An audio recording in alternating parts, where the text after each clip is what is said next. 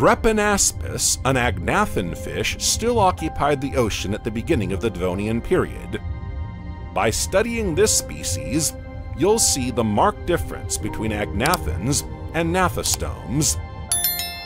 Unlike the other heterostracans they resemble, Drepanaspis does not have its mouth facing downwards but towards the water. Yet it remains a burrowing animal, a benthic fish in short. Like many of its relatives, this agnathan has an armored body that protects it from many predators.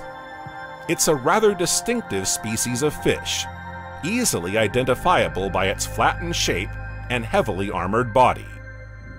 Its appearance is similar to that of today's stingrays, since it also has small, widely spaced eyes.